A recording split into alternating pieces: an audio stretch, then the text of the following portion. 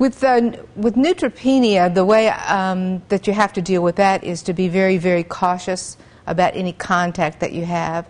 Um, washing your hands a lot and wearing a mask when you're out or, and staying out of congested and in public places primarily. Anemia and fatigue, there's really not much you can do personally for that except to adjust your lifestyle to accommodate uh, sort of a new normal in your energy levels. In other words, when you feel like you're tired, when I feel like I'm tired and I need to lay down, I lay down.